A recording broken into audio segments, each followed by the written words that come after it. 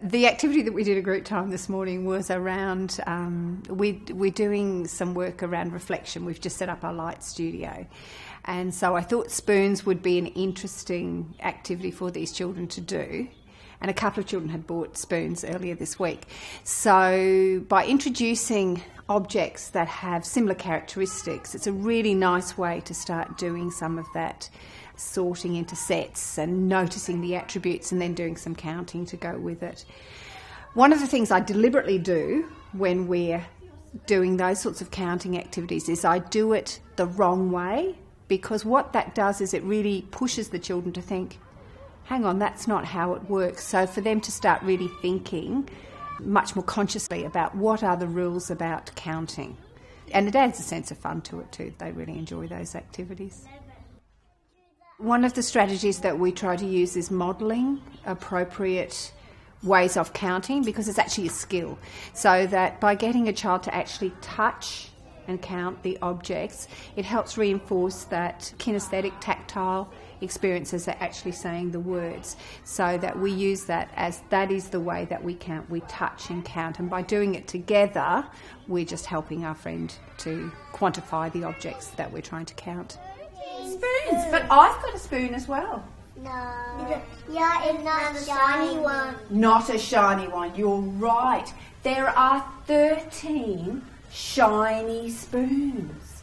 Wow, I wonder how many spoons are not shiny.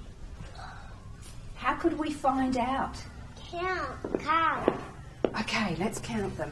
Leave them in the rest position. One, nine, seven, three. Put up your hand if you can tell me the problem. Have a think. There's a problem. What is the problem with how I'm counting those spoons? Cross your legs, Justice. Have a think.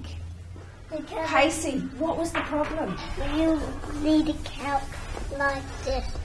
One, two, and then three, four, five, six, seven, eight, nine. But I was touching each one. I was touching each one. No, you're not. Hang on, have a listen to Pacey. She's right. Go like this. One, then like So if I start over here with one, then what do I do next? two, Two. What's next? three, Three. What's next? Help Pacey. four. Four. Five. So, what happens with children when we form these sets and we quantify how many objects are in each set? It's interesting for children to start comparing sets to see which are the larger sets and which are the smaller sets.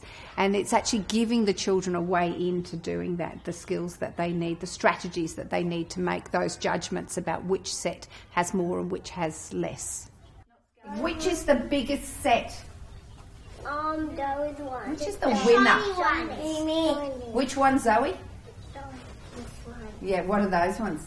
Shiny. The shiny ones are the ones that win at the moment. Isn't that clever?